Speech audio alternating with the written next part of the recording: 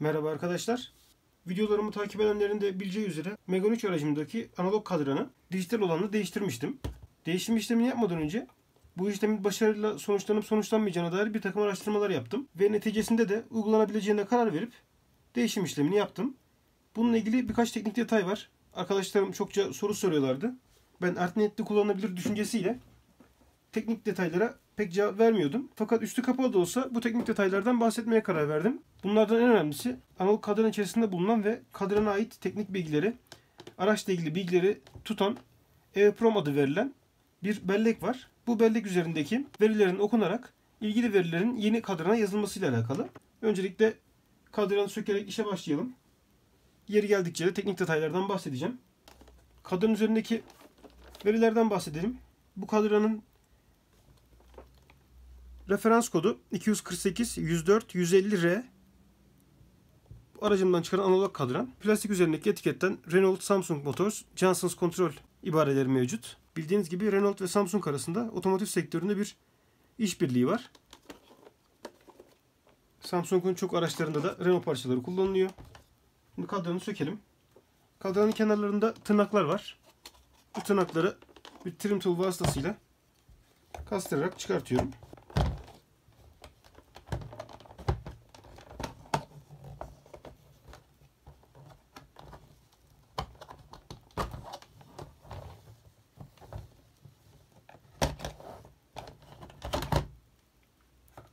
Üst kapak çıktı. Zaten daha önce kadran temizleme videosunu çekmiştim. Onda da söküm işlemini anlatmıştım.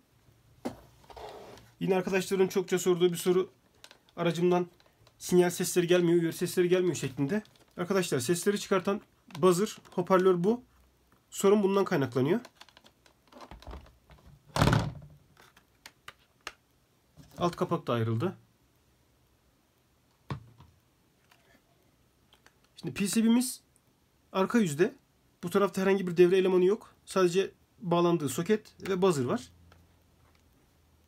PCB'yi tam olarak sökebilmek için kadran kollarını çıkartmamız lazım. Bunun için de yine çatal şeklinde bir trim tool kullanıyorum. Fazla zorlamadan altından sokup yukarı doğru kastırıyorum. Plastik parçalar var. Zarar vermemeye özen gösteriyorum. Bu parçalar altta bulunan step motorlara direkt bağlanıyor.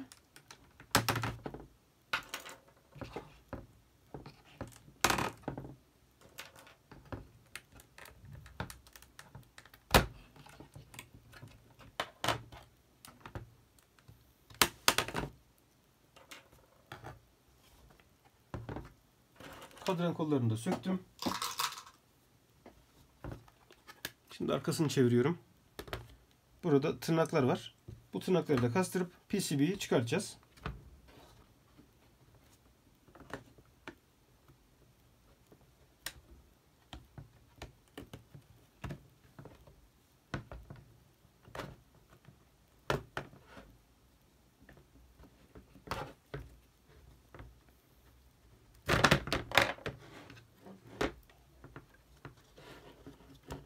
Bu arada şu arka tarafta ekranımıza giden flex kablo var.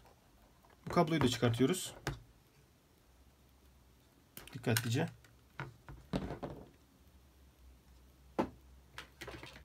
PCB'miz karşımızda arkadaşlar. Şimdi PCB üzerindeki yapıları inceleyelim. PCB üzerinde step motorlarımız var. Bu step motorlar kadran üzerindeki kolları hareket ettiriyor. Bir işlemcimiz var. Bu işlemciye bağlı EEPROM var. Şurası güç katı. PCB üzerinde ihtiyaç duyulan 5 volt ve 3.3 volt elektriğin üretilmesini sağlıyor. Araçtan gelen 12 volt ve araç çalıştıktan sonraki 14 voltu regüle ederek düşürüyor. Şu bölgede görmüş olduğunuz ledler ekranın arka aydınlatmaları. Aşağı bölümde beyaz, üst bölümde renkli. Bazı uyarı ve bilgilendirme mesajlarında ekranın arka aydınlatma renkleri değişiyor. Burada LCD'nin rengi değişmeyip arka aydınlatma rengi değişiyor. Buradaki ledler çok renkli. Hatta şöyle görüldüğü üzere RGB ledler. Hemen altındaki ledler ise beyaz ışık sağlayan ledler. Bunlar da 0805 kılıfta yanlış görmüyorsam. Sol bölümdeki devir saatinin ledleri de aynı şekilde. Bir tane burada ve bir tane burada var. 0805 tipinde. Şu kısımlarda da yağ basıncı, ABS sensörü gibi ikonların ledleri var. Yine orta bölümdeki bu kısım işte sinyal ledler olsun. Vites değiştirme yardımcısının ledleri. Onlar da buralarda. Asıl bizi ilgilendiren kısma gelecek olursak şu kısımda bir EOPROM'umuz var. Üzerindeki kodu görebiliyor musunuz? Şöyle çevireyim tam okunsun. ST Mikroelektronik'sin ürettiği 95160 numaralı bir EEPROM. Bu EEPROM SPI ara birimiyle çalışan bir EEPROM. Yani senkron seri haberleşmeye imkan tanıyor. 16 kilobit, 2 kilobayt bir kapasitesi, hafızası var. Şimdi bu EEPROM'u okumak için bir takım araçlara ihtiyacımız var. Ben şu şekilde UPA USB isimli bir programlayıcı kullanıyorum. Hemen hemen piyasadaki tüm EEPROM'ları okuyup yazabiliyor. Ben kendi tasarladığım devrelerde de bunu kullanıyorum. 100 lira gibi bir fiyatı var. Yurt dışından temin edilebilir. Bir arayüz aparat var. Yine mandal yardımıyla da EEPROM'a bağlayıp okuyacağız. Şimdi bu bağlantı işlemlerini gerçekleştireyim. EEPROM'un şu şekilde tuttuğumuzda sol alt bacağı bir numaralı bacak. Buna dikkat ederek mandalımı bağlıyorum.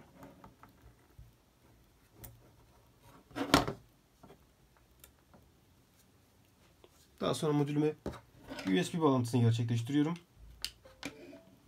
Bundan sonraki işlem bilgisayarımızda UPA USB donanımın bilgisayarda bir yazılımı var. Bunu çalıştırıp gerekli okuma işlemlerini gerçekleştireceğiz. Bilgisayarımdan UPA USB donanımının uygulamasını açıyorum.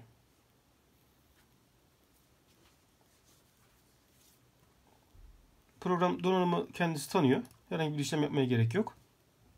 Sol bölümde bir ağaç var. Bu ağaçtan EOPROM SPI'yi buluyorum. Çünkü kadranda kullanılan EOPROM'un SPI arayüzüne sahip olduğunu belirtmiştim. Tıklıyorum. Ağacı genişlettik. Aşağı tarafta ST9560 kadranda kullanılan EOPROM'un kendisi. Tıklıyorum. Ve sağ bölümdeki oku butonuna basıyorum. EOPROM okunuyor. Ve bilgiler geldi. Okuma işleminden sonra dosyamı kaydediyorum. Daha sonra kullanmak üzere. Bin uzantılı hexadesimal karakterlerin olduğu, verilerin olduğu bir dosya oluşturuyor. Bu masa üstüne kaydediyorum. Uygulama üzerindeki işlemleri bitirdim. Şimdi kapatıyorum uygulamamı. Artık kadranı toparlayabiliriz. PCB'yi yerine yerleştirip üzerinden bastırdığımızda kendiliğinden tırnaklarına geçiyor. Herhangi bir zorluk çıkartmıyor.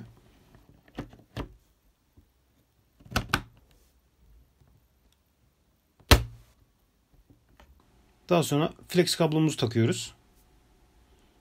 Flex kablonun kenarlarında iki tane kulakçık var. Kabloyu yuvasına denk getirip bu kulakçıklardan aşağı doğru ittirerek yerine oturmasını sağlayabiliriz. Yine de dikkatli olmakta fayda var. Koptuğu zaman işlevini yitirir ve onarılması da zor.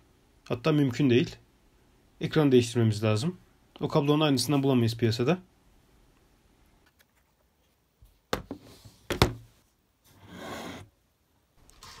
Şimdi kadran kollarını takıyoruz. İncelerken söylemiştim. Kadran kollarının altında motorlar var.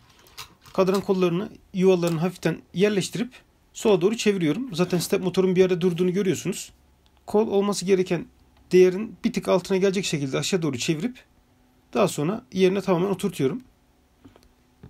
Burada birazcık aşağıda durmasının herhangi bir sorunu yok. Çünkü kadrana güç geldiği zaman araç bir kendince sıfırlama işlemi yapıyor. Kadranı tamamen sola dayayıp hafiften yukarı kaldırıp olması gereken yere gelmesini sağlıyor. Ondan dolayı böyle aşırı bir hassasiyete de gerek yok. Yerine takın. Hafiften sola çevirin. Durduğunu hissedeceksiniz zaten step motorun. Olması gereken yere geldiğini düşündüğünüz anda aşağı bastırıp tamamen oturtun.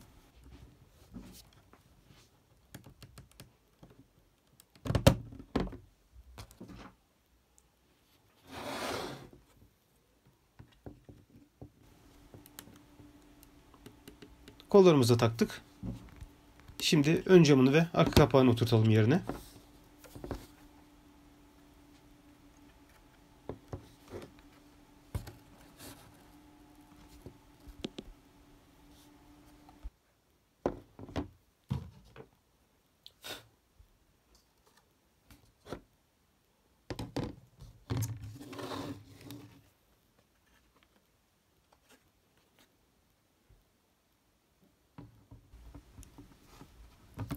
Bu işlem de çok basit.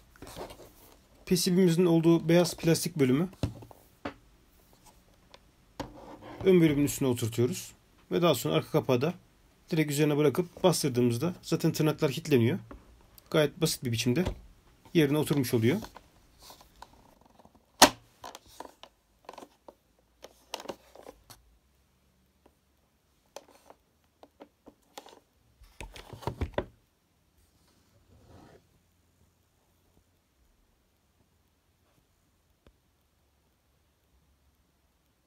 Son aşamada kadranımızın çalışıp çalışmadığını kontrol edeceğiz.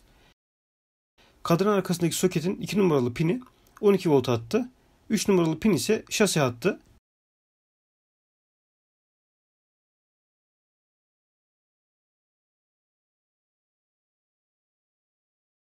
Buralara güç vermek için dipont kablolarımın dişi soketlerini bağlıyorum. 2 numaralı pin 12 volt, 3 numaralı pin ise Grant attı.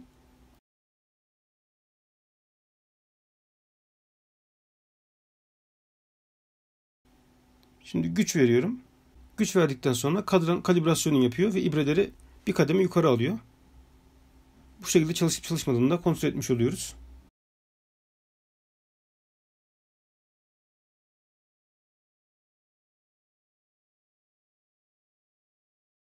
Böylelikle analog kadranımız üzerindeki işlemleri tamamlamış olduk. İzlediğiniz için teşekkür ederim. Bir sonraki videoda görüşmek üzere. Kendinize iyi bakın. Hoşçakalın.